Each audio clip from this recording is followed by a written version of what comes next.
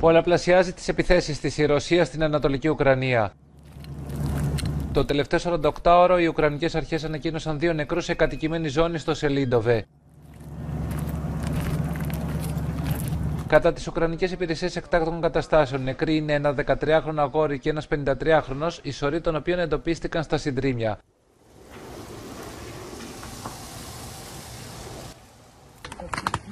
Στην ίδια περιοχή, οι ρωσικές δυνάμεις έπληξαν και το χωριό Ολεξίγεβο Ντρούσκιβα, όπου τραυματίστηκαν 7 άνθρωποι, ενώ περισσότερες από 100 κατοικίες καταστράφηκαν.